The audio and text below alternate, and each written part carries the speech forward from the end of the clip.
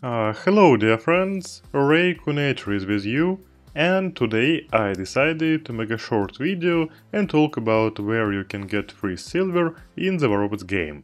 But before starting this video I would like to tell you that now I have my own author code in the official game store. There you can buy resources and new day games at competitive prices. And if you enter my personal code Raccoonator when purchasing, you will greatly support my channel. Okay, we are a little distracted, now let's move on to the topic of this video. I think you remember that recently I made a video about how much gold, platinum and the new thorium currency you can get in the robots game. It was quite interesting to calculate all this, but many also asked in the comments how much silver you can get per month if you don't spend real money in the game. That is why I decided to make a such video and count everything. To start, I decided to think about how much time I have spent on the game over the past months.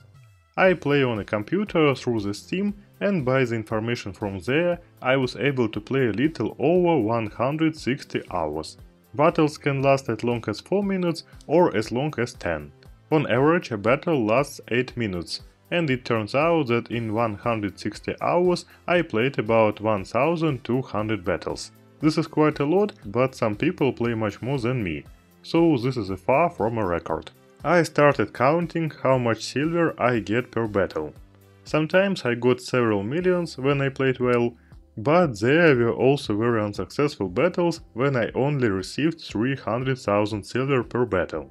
Having calculated everything carefully, it turns out that on average I earned about 750,000 silver per battle. Of course, if you take premium, you get 50% more resources, but I decided to calculate how many resources you can get without spending real money. In total, in 1200 fights, I was able to earn 900 million silver, which is very good. If I played on a phone, I could get another 450 million if I watched ads after each battle. But unfortunately, this cannot be done on a computer.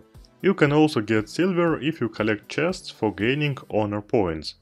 During this time I was able to reach the champion chest two times and managed to earn approximately 60 million silver. Of course this is not very much, but the good thing here is that you can pick up boosters to increase the damage and strength of the robots. Also, some people sell robot components from these chests, but I didn't do this, because perhaps these robots and guns will be useful to me in the future. You can also get more silver from operations. If you perform all three lines of operations for time a month, you will earn a little less than 80 million silver, which is also very good. Uh, well, the most interesting way to earn resources is to play in the Hunting Ground mod. There you can get 27 million silver every week, and, most importantly, silver is given for completing stages for a silver medal, so you don't have to try to get a platinum reward for completing a level. Total plus 108 million silver every month. To summarize, with an active game, on average you can earn about 1 billion 200 million silver per month. This is enough to upgrade one robot and its guns to MK2 level 12.